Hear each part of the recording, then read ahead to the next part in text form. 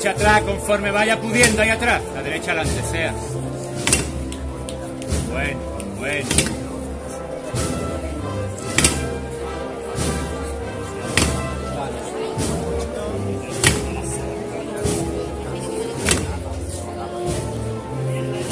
Un poquito a izquierda adelante. Bien.